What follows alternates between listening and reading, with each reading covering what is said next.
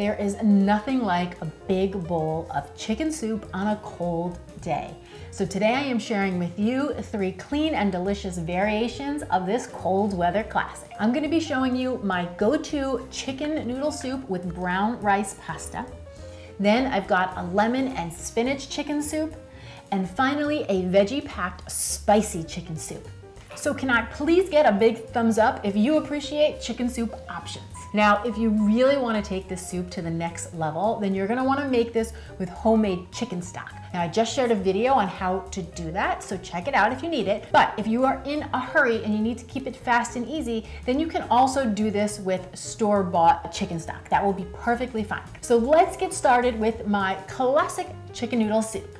I've got a nice big pot heating up over a medium high heat and I'm adding in just a tablespoon of olive oil. Then once that oil has heated through, I'm gonna add in some chopped onions, garlic, carrots, celery, a few sprigs of fresh thyme. Now, if you didn't have fresh thyme, you could sub in a little bit of dry thyme. That would be perfectly fine. And then I'm gonna give it a hit of salt and pepper. Give that a stir and let this cook for about five to eight minutes. I'm just looking to get the raw edge off of those veggies and have them so they're just beginning to become nice and tender. Then I'll add my chicken stock. So I've got eight cups of chicken stock and I'm gonna turn the heat up and let everything come to a boil. From here, I'm gonna reduce it back down to a simmer and add in one and a half cups of shredded chicken. Now I am using the shredded chicken that is left over from my homemade chicken stock. That's the bonus of making homemade stock. You've got your chicken ready to go too. But again, if you're in a pinch, a little store-bought rotisserie chicken would do the job. Just shred it up and add it into the soup. Perfecto. Now, while that's heating up, let's chat about our noodles. Now, unless I know that we're gonna be eating the entire pot of soup in one sitting, I never add my noodles into the soup because what happens is the noodles will absorb all the broth and then they get really mushy. And personally, I like a noodle with a little bit of integrity.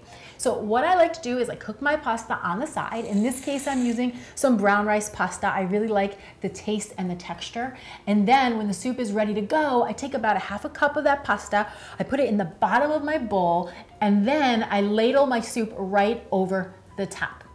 Then I finish it with a little fresh chopped parsley and this soup is ready to go. My next variation of chicken soup is my lemon and spinach chicken soup with tri-colored couscous. My kids especially love this version. So I'm gonna start the base of the soup the same exact way that we did before. I've got a large pot heating up. I've got one tablespoon of olive oil that I'm gonna heat in the pot. And then once that oil has heated through, I will add in my chopped onions, garlic, carrots, celery, and then I am adding the zest from two lemons.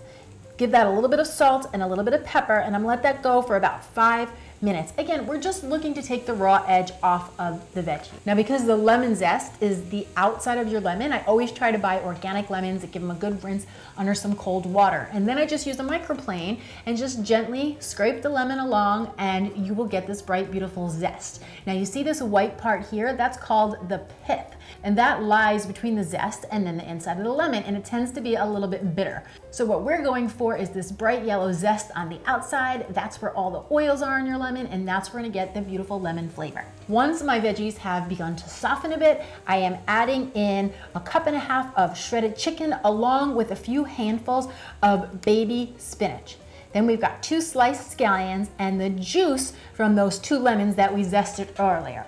Finish that with some homemade chicken stock. Give it all a stir, crank it up, and let everything come up to a boil. Once this is heated through, it's ready to serve.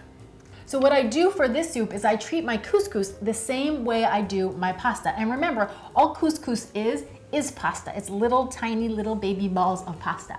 So I cook it ahead of time and then I take about a half a scoop, I put it in the bottom of my bowl, and then when my soup has heated through, I ladle it over the top Finish it with a little bit of extra lemon zest and some scallions and the soup is ready to serve. This soup is bright, it's fresh, but it's still warm and comforting, so it's one of my favorite variations. And then finally, I have a nice spicy veggie-packed chicken soup. This one is sans the noodles. So again, we are gonna start this soup just like we did the other two, except this one's not gonna have any celery. So I've got my pot heating up. I am adding just a little bit of olive oil to the bottom Once that has heated through, I'm gonna add in my onions. Then I've got my garlic, and I like to do extra garlic for this one because garlic is a powerful immunity booster, and I always find myself going to this soup when I'm feeling a little under the weather. Then we've got some sliced carrots and half of a minced jalapeno. Now, you can do more or less jalapeno depending on how spicy you like your soup. And remember, all jalapenos vary in heat.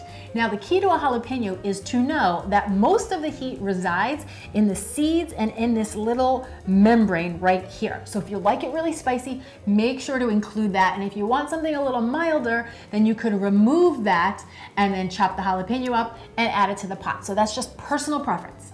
Give that a little bit of salt and pepper, and then I'm just gonna let that go five ten minutes. Again, we want those veggies to get the raw edge off and start to become nice and tender. Next up, I have some thinly sliced cabbage, chopped up zucchini, some diced canned tomatoes. If you had fresh, you could dice those up as well. And then of course, my homemade chicken stock. I'm gonna crank up the heat, let everything come up to a boil, and then I'm gonna reduce it back down to a simmer and finish it by adding in shredded chicken, some baby spinach, fresh chopped cilantro, and then finish that with a big squish of fresh lime juice.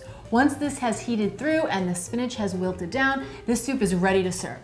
Now, personally, I love to finish this one off with a little bit of extra cilantro and lime juice and then some sliced avocado right over the top. Mmm, mmm, all three of these soups will last up to five days in your fridge or you can freeze them for up to six months. So now I am curious, which soup do you think you will try first and why? Come on down to the comments below and let me know and be sure to like, subscribe, and share this video with anyone else you know who wants some clean and delicious chicken soup. Be sure you tag me on Instagram or Facebook with any of the pictures of the delicious food you're making in your very own kitchens. And thank you so much for watching. I'm Dani Spies. I'll see you back here next time with some more clean and deliciousness. Cheers. There, mm, there, Yeah, three, two. there is nothing like a big boop. There is nothing like a warm bowl Now, can I please get a thumbs up for options? What's happening with the hair? Okay?